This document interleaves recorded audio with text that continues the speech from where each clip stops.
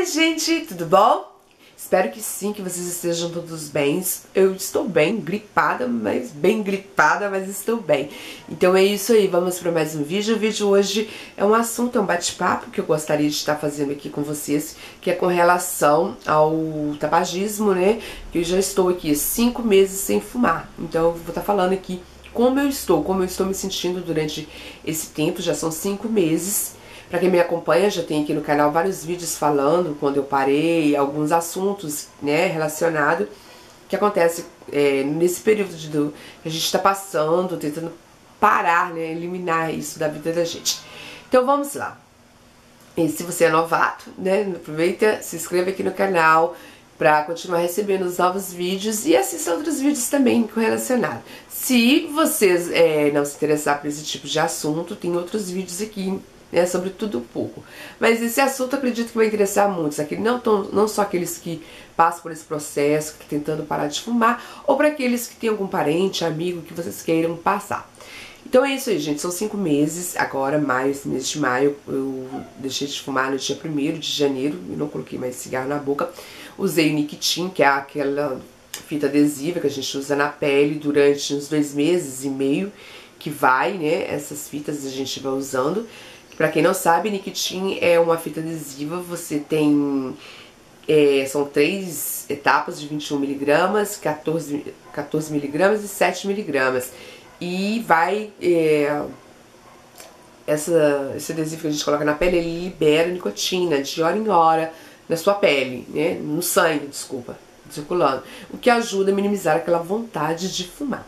Então é isso, gente. Eu como eu já disse, das minhas outras tentativas, né, porque eu já tive outras recaídas em, em outras, outras vezes que eu tentei parar de fumar, essa está sendo uma das piores, porque das outras vezes eu não me preparei para parar de fumar. No entanto, voltei a, a fumar novamente por vários motivos. Dentre eles foram o peso, né, o aumento do peso.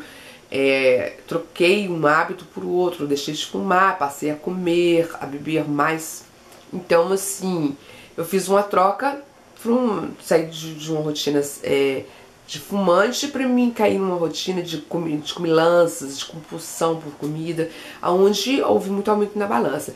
Então, dessa vez, o que aconteceu foi diferente. Eu me preparei mentalmente, me reeduquei na alimentação para tá, para ter parado de fumar. Só que dentro desses cinco meses, infelizmente, é, por mais que a gente se prepare para isso, que a gente acha que está preparado, mas mesmo assim não tá, porque a gente passa por muito processo, porque você passa uma vida fumando e para você sair né, dessa vida é que você passou tantos anos é difícil porque você tem que encarar um novo mundo.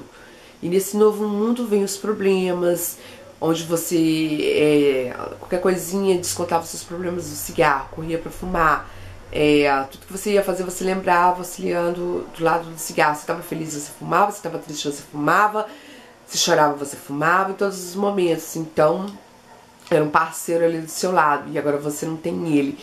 E daí, para você é, enfrentar os problemas, é mais difícil.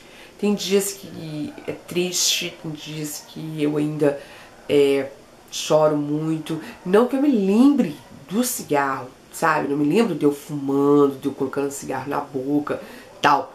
Mas você sabe que, que aquele processo que você está passando é a falta da nicotina. Então, nesses esses 11 meses, foram 8 quilos né, a mais que eu recebi novamente, que eu tinha eliminado, tinha eliminado 10, então já recuperei, já tô com 8 quilos. Mesmo fazendo, buscando trocar a rotina, mudei minha rotina muito, é, faço atividade física de manhã, quando eu acordo agora. À tarde eu faço caminhada com corridas. E alimentação a mesma, frutas, verduras, não mudei. Mas mesmo assim houve um aumento de peso. A ansiedade é muito, porque eu não estou trabalhando no momento, né? Eu trabalhava como educadora, mas agora não estou. Então, em casa. E nesse tempo que eu fico em casa, eu tenho que me segurar para não comer nesse me segurar que, que, que eu não sei, é, eu não sei, onde fica ansiosa que devo engordar, não sei como, sabe? Porque eu procuro me alimentar de 3 em 3 horas.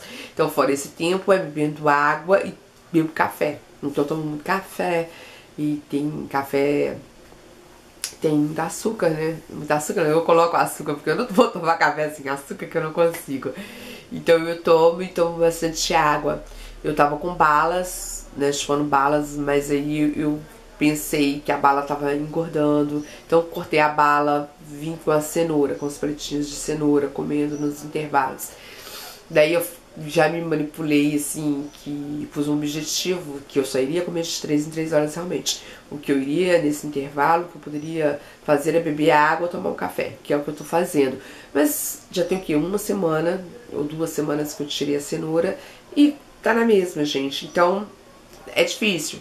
Mas é, muitos benefícios. Eu vou falar aqui um dos benefícios que eu encontrei um panfleto né, de informações e dicas para parar de fumar então a gente tem os benefícios, sabe? Por mais que eu tô passando por essa, essa ansiedade, eu acho que se você não estiver preparado totalmente é, para conseguir sozinho, deixar de fumar sozinho, busca uma ajuda médica, porque vai precisar, não tem como, porque é muita coisa psicológico da gente, é muito problemas, a gente passa, tem um turbilhão de coisas. Ainda mais a gente que é mulher, que fraqueja mesmo, né? Quando a gente vê que a gente tá engordando, a gente já entra em desespero. E eu tô nessa fase de me segurando o tempo todo, sabe? Mas eu vou conseguir, sabe? Eu não quero voltar, eu não acho que tem vantagem nenhuma. Quando você pensar que você vai fraquejar, pensa nos malefícios, nas coisas ruins que o cigarro traz para nossa vida, sabe? E nas coisas boas que a gente tem que nas coisas boas eu vou falar uma delas para vocês. Que após duas horas não há mais nicotina no sangue. Duas horas sem fumar. Após seis horas, a frequência cardíaca e a pressão arterial diminuem. Em 12 a 24 horas, não há mais monóxido, monóxido de carbono no sangue. Após dois dias, há melhora do olfato e do paladar. Após alguns dias, os broncos começam a funcionar melhor e a limpar os resíduos deixados pelo fumo nas vias respiratórias. Após dois meses, a melhora do condicionamento físico.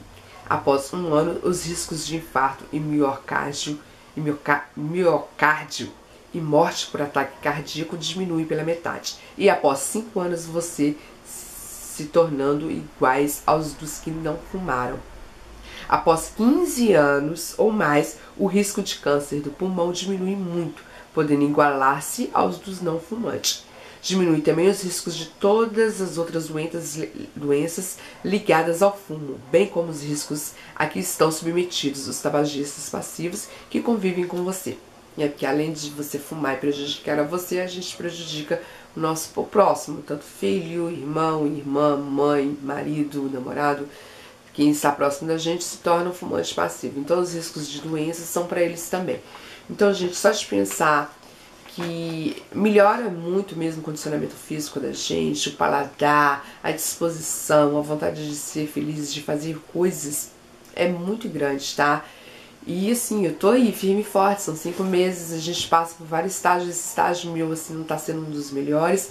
Primeiro também porque eu tenho muitos problemas pessoais que estão ligados na minha vida, que eu tô confrontando. Então é, é, é confrontar assim para não voltar a ter recaída, para qualidade de vida, né, do meu peso, que eu quero manter um corpo legal, saúde legal e desafio de problemas pessoais. Então essas três co as coisas aqui, tudo na sua mente, tem uma hora que a gente pá, explode. Aí você chora, você, sabe, se desespera, mas nada que uma, como é que fala, uma boa noite de sono que nada resolva. No outro dia a gente começa tudo de novo. Então é um dia após o outro. A gente tem que viver um dia de cada vez.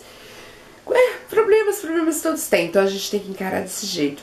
Então é isso aí, gente. Para vocês que estão tentando parar de fumar, não desistam. Para você que está aí fumando, para, pensa nos benefícios que vai ser sem fumar, que são muito, muito, muito grandes, tá? Então um grande beijo para todos vocês e até o próximo vídeo. Tchau, tchau!